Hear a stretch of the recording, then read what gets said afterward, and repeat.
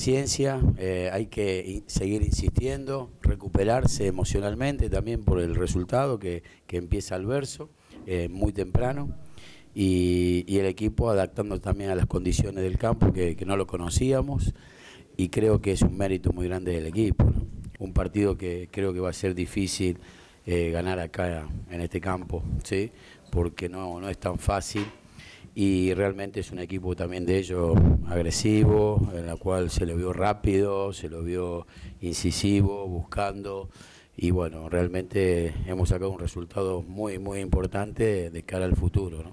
Fue exigente el partido en una superficie, vuelvo a repetir, no tanto por el césped, sino por el caucho, que realmente hace cuenta que juega mucho con, con, con mucha goma, ¿no? Pero eso por ser campo nuevo. Así que bueno, esto es, producto de, de, eso nada más.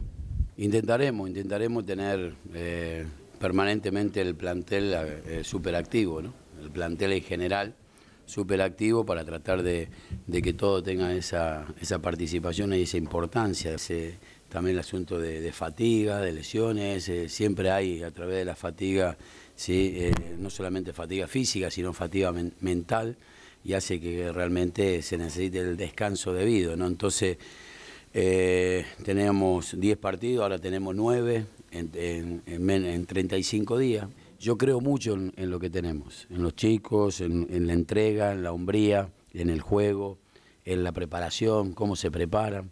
Entonces yo personalmente creo que siempre vamos a ir a un poquito más, siempre. ¿Por qué? Porque ellos mismos son ambiciosos en ese sentido.